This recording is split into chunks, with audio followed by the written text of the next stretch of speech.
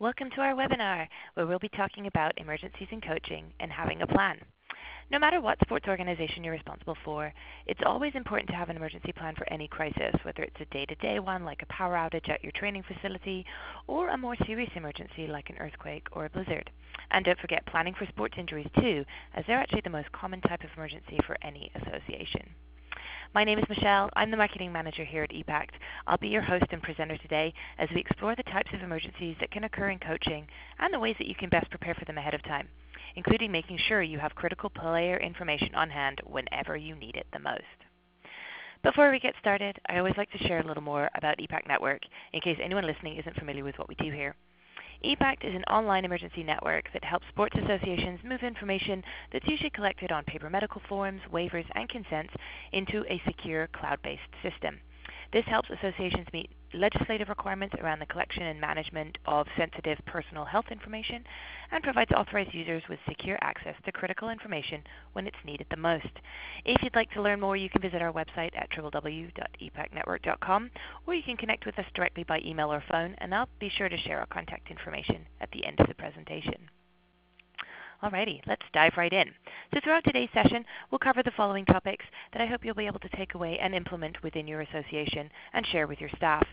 So the first is we're going to be looking at the most common emergencies that coaches and athletes in any sports association may encounter. And the second one is how we can plan and prepare for those potential emergencies uh, across any sports. So let's get started with the first one. Some types of emergencies for sports associations. It's no surprise that the most common in any sport, the most common emergency in any sport, sorry, is injury. Uh, in fact, each year young athletes visit hospital emergency rooms over a million times, which is working out to be approximately once every 25 seconds for specifically for sports-related injuries. Between 2010 and 2014, concussions for athletes under 25 rose 500%. Yet every day at practice, games, or championship events, coaches, team managers, or trainers are held responsible for the health of the players in their care. And it's not just the players who get injured. No matter what sport you coach, you may have to deal with an injury to yourself, your players, or spectators at some point. And it doesn't matter whether it's a minor or a major injury, the situation needs to be managed in a calm, focused, and deliberate manner. And as a coach, you're in charge, and you have to step up to resolve the situation for your team. So let's cover a few examples of emergencies that a sports association can encounter at any point throughout the season. So let's start with medical emergencies. This is probably the most common emergency that your sports association will encounter, and that's simply due to the nature of many sports. You have high impact sports like ice hockey and football that can lend themselves to additional injuries that might not happen in swimming, for example, but it's always good to prepare for all possibilities across any sport. And so a couple of key points here. For sports injuries that require immediate treatment, also known as acute injuries, the primary goal is to stop the activity and basically try to prevent further injury or damage, depending on what the injury is. And these types of injuries, they occur suddenly, and they generally have symptoms like pain and swelling, cuts and abrasions, fractures, sprains, or even strains, um, and concussions actually uh, fall under the acute injury uh, category as well. And with these types of injuries, it's often obvious what caused it. A wrong step can lead to a sprained ankle, or a particularly awkward collision can result in a concussion. And in those scenarios, it's really important to make a quick, correct treatment decision to support the athlete until medical help arrives, or even to support them entirely if it's a less serious injury like a cut or a scrape. And then while the most dramatic sports injuries are sudden, many sports injuries overall are gradual, and they result in aches and pains that can lead to more serious issues down the road if they're not addressed properly. Overuse injuries are really common in sports, and they're often from repetitive motion. So think about um, a, pitcher throwing a baseball over and over, or a soccer player kicking a ball repeatedly at the goal, or you know at at um, fellow teammates, um, or even that concept of pushing through the pain in in more competitive scenarios. And to prevent those injuries from becoming a more serious problem for your athletes, where they may miss out on training or games, or unfortunately may even stop playing entirely, it's really crucial to have a training plan so that athletes can rest properly and give their bodies time to heal. And for more serious overuse injuries, where an athlete is seeking physical therapy treatment perhaps, it's important to take that into consideration alongside any regular training they're allowed to participate in. You probably want to have a very clear return to play protocol so that they reduce the risk of re-injury or developing a chronic problem that leads to a longer recovery time. And finally, Medical emergencies also include conditions that are either managed ongoing um, or that have a sudden impact on an athlete, and they might not actually be related to the actual sport itself. And these are things like allergic reactions, um, and those can be anything from food to uh, environmental allergies to uh, bug bites, which is going to be applicable for sports played outside, uh, things like seizures, or even asthma attacks. And as with any medical emergency, when these happen, you need to be prepared to act quickly, and ideally you'll have access to a well-stocked first aid kit or have medical help nearby. So whether it's a team, doctor, uh, or medical professional, or you're you know, on a hospital route or, or there's an emergency room nearby. And you'll also want to have the information you need ahead of time to respond to specific conditions like an allergic reaction. So for example, knowing where and how to use an EpiPen in the case of a reaction. Our next type of emergency is a, a localized one. Um, this is probably more specific. This is less specific to your team, more specific to the venue or the building um, that you may use for training purposes.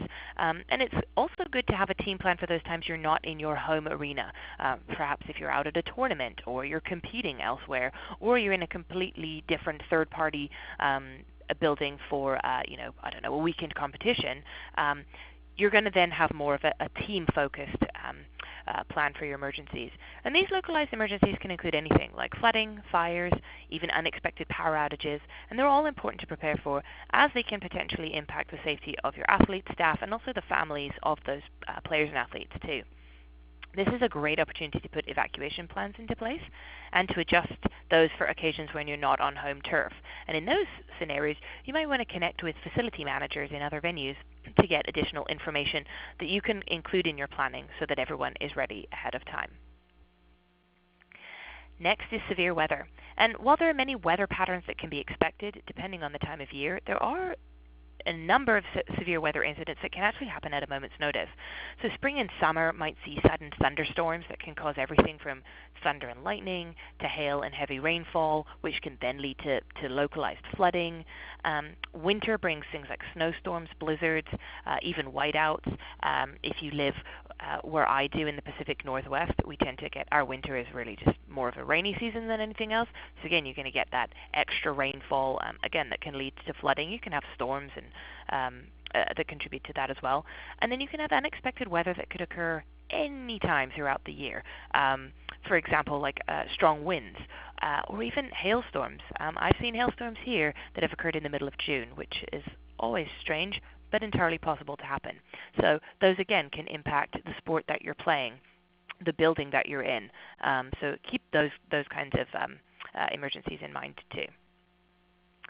And then the other final kind of emergency that we're going to talk about today, for some re- are, are widespread disasters. And for some re- regions, the chance of a widespread disaster is a lot lower than others, um, just based on the region itself. But there are many regions that are at risk for natural disasters, like earthquakes or hurricanes or tornadoes or wildfires, which we're seeing more of um, in recent years.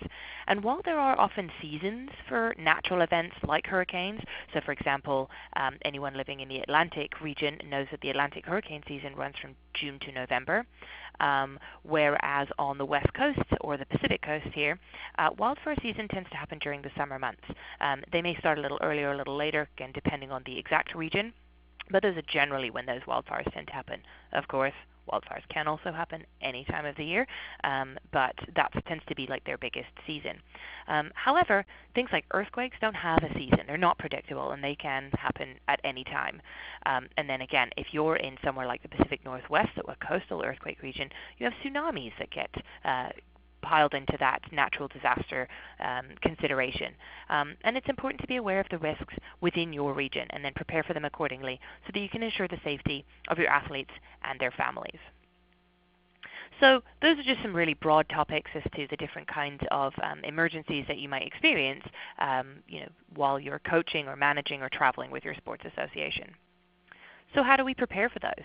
Um, this uh, the list of emergencies that we've just gone through is certainly not exhausted and exhaustive, and you can um, go into each one in a lot more detail and be very much more specific um, into each one. You know, preparing for fires, preparing for flooding, preparing for earthquakes, tornadoes, all of the above. Um, but it gives you a good idea of the variety that can impact your sports association and your athletes, and then it gives you an opportunity to prepare. So it is important, though, to remember that you can never identify every possible emergency or potential emergency. You just need to think beyond the obvious to identify the potential risks and then their ripple effects. So one way to streamline your planning is to get the basics together and then adjust for each scenario on the fly. And that's really where individual training and practice can come into play as well. So for example, super general, if one of your athletes is injured, so we're going kind of back to that medical um, emergency or that sports injury, um, rather than trying to predict specifically for you know a broken bone versus a sprained ankle versus a concussion, consider these pieces and then build around them. Um, consider how the athlete's teammates will react, especially if you're coaching kids. Um, you know, the younger children are, um, there can be a, a, tendency for sort of added panic or lack of understanding. So keep that in mind, the age group that you're coaching or working with. Um, consider if any parents will get, will get involved. Um, if parents are there on the sidelines watching a game or even watching a practice, are they likely to jump in? Uh, if they have training, are you going to allow them to support your coaching or training staff um, with support for that child? If they, or are you going to ask them to step aside and let you do your work? And also consider how quickly you can summon medical assistance if you need to. So that goes back to do you have a team doctor um, or nurse on hand? Um, are you close to an emergency room where you could uh, potentially drive an athlete, or are you going to have to call an ambulance? So all of those pieces um, kind of give you a really good framework to start, and then you can build around each of those. And so with that in mind, let's get started on how you can actually really specifically prepare for emergencies in support, in sports. In addition to any formal first aid training, the best way to prepare yourself, your athletes, and your team is actually with an emergency action plan.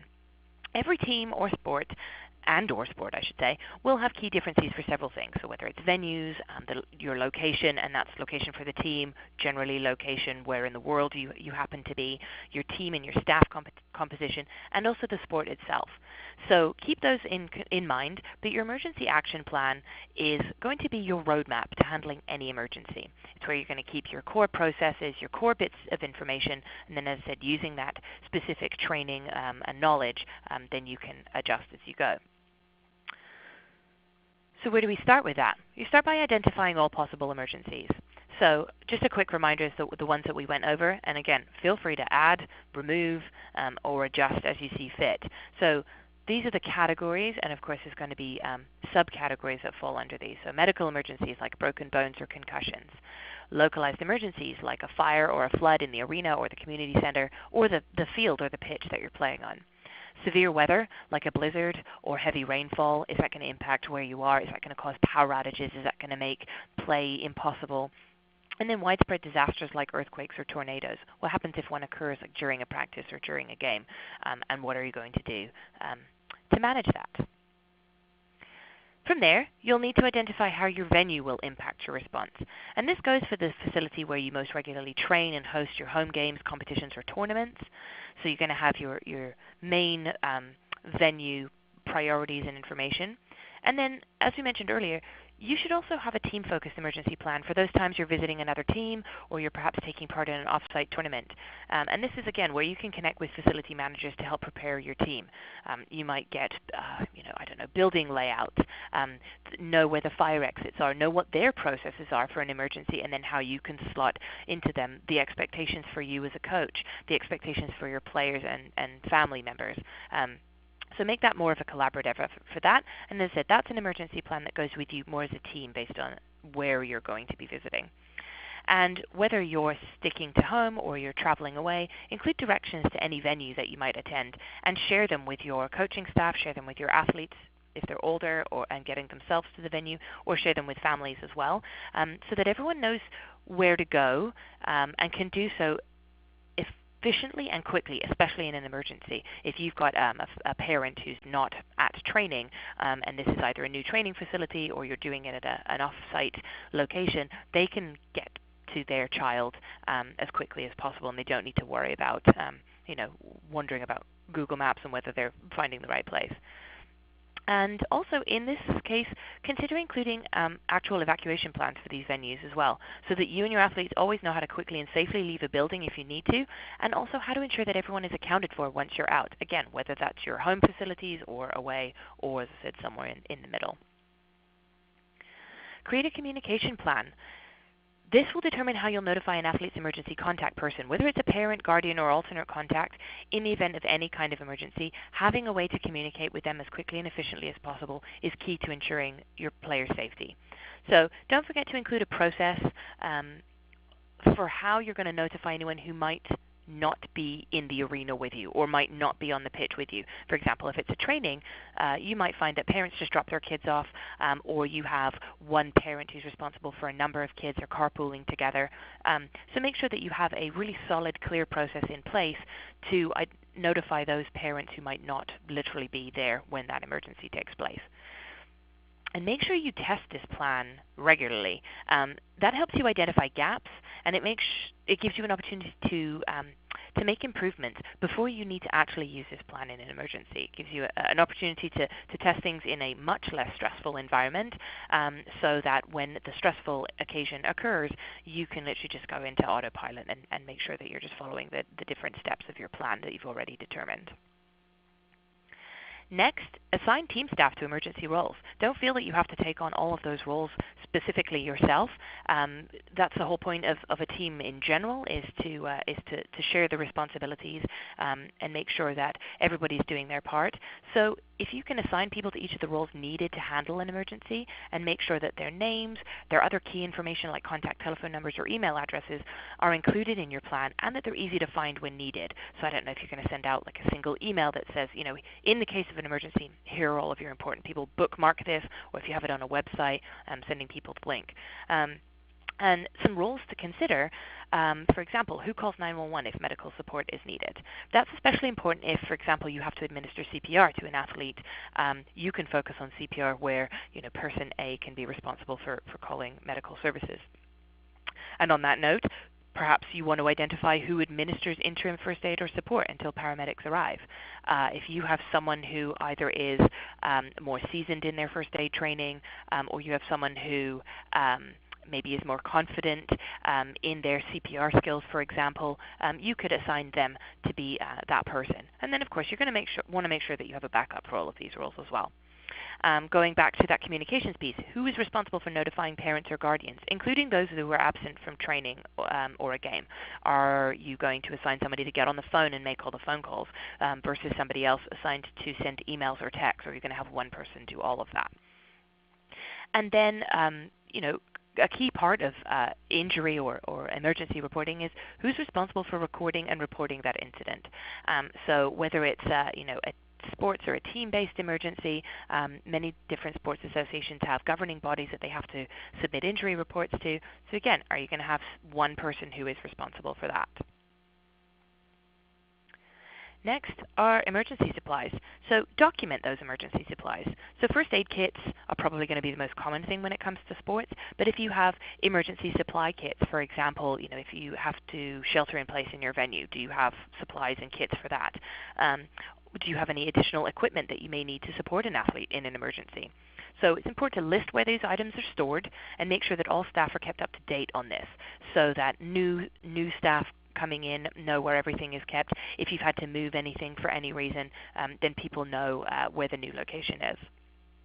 It's important to regularly check and restock your kits to replenish any of the expired or items that have been used. Um, you know, I don't know if somebody's uh, cut themselves and you know you've not replaced your bandages or your band-aids for a while, um, then it's a good idea to get in there and make sure make sure they're fresh. Um, make sure that any items that do have an expiry date on them are replaced um, on or before their expiry date.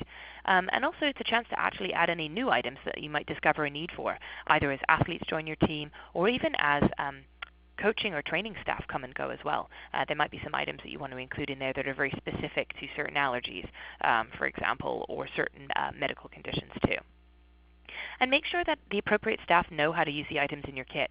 A lot of sports associations, their coaching and team staff tend to be very tight-knit and small, so it might even be a good idea to have everybody take a quick training course on how to use things like EpiPens or um, how to operate an asthma inhaler. Um, those things might seem really simple, um, but training always helps just take away that element of stress and, and the unknown, um, and it means that you can just act as quickly as you need to um, to support your, your players. And as this audience will know better than anyone, regular practice and training is really important. Um, coaching staff are often required to have formal first aid and CPR training based on the nature of their role um, and um, you know what it is that they're doing.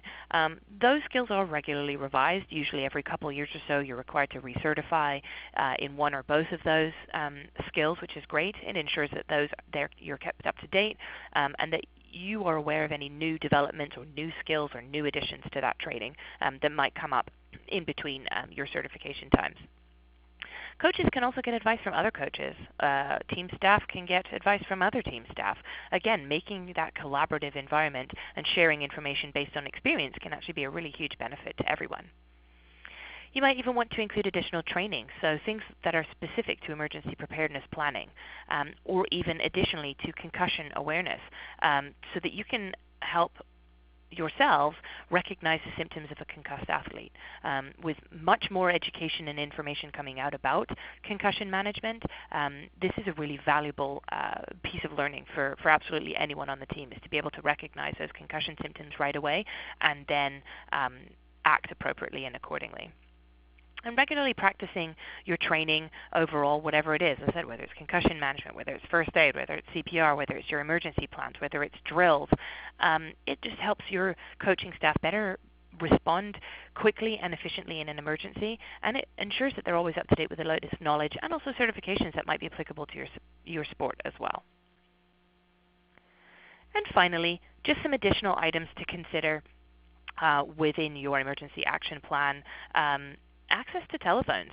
Um, most of us now have at least a cell phone or a smartphone on us all the time. Um, but I know that some of us can be, uh, you know, we're using our devices all the time, and there's nothing worse than coming to use your cell phone and you realize that the battery is, you know, on its last legs. You've got 5% left, and you just need to turn your phone off to save it so you can make sure you get home. So making sure that your cell phone, um, at the very least, always has a good charge, or you have access to charge it, um, you know, until you need to use it, or even considering having a spare battery pack um, or, or charging option um, as well is great. Make sure you have a list of emergency phone numbers for home and away competitions. So yeah, that could just be specific to your um, coaching staff and your team staff um, and you know who to contact in an emergency. But it might be something else. Maybe there is um, a medical facility or a uh, medical professional within uh, the away venue that you're going to or your venue, making sure that you have the phone number for that, the front desk, emergency services, non-emergency services. Where it's not an emergency, but you still need, I don't know, the police to show up, for example. Um, so knowing the difference between those versus dialing 911. Um, and also including athlete and personnel information too. Injuries are not necessarily uh, specific to the athletes, although the chances of those being that they're playing are going to be a little high. But you want to make sure that you have um, key information for your coaching staff as well making sure that you have their profile form, so you know, information about their name, address, birth date, etc., uh, phone number, um, as well as emergency contacts for everyone, and also medical information too. And make sure this is easily accessible in an emergency. Uh, a quick hint here is that EPACT can actually help you with that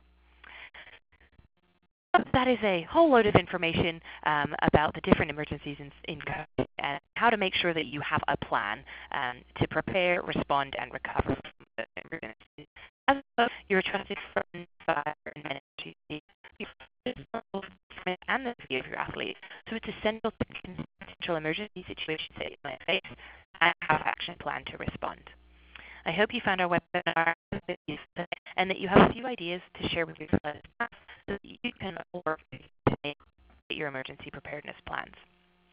If at any time you have any questions or you'd like to learn more about how EPACT can support your sports association and your athletes, you can visit our website at www.epactnetwork.com or you can reach out to our sales team by phone or email at your convenience, and that information is on the screen now. Thanks for listening, and we'll see you again soon.